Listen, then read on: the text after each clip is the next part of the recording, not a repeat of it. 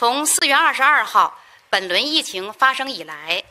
本市所有病例均在北京地坛医院和小汤山方舱医院隔离治疗。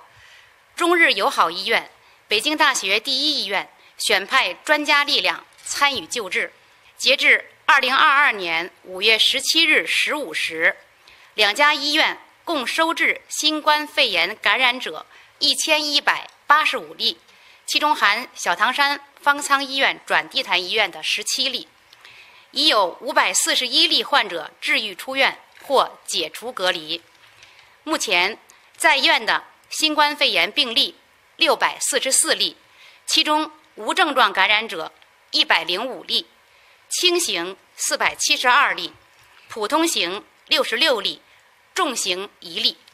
在院患者除一例合并多种基础病为重型外，其余病情稳定，无危重型病例。近两天，两家医院出院病例是一百一十人，入院病例是一百一十二人，出院和入院的比例接近一比一。和前几天相比，出院比例数量明显增加。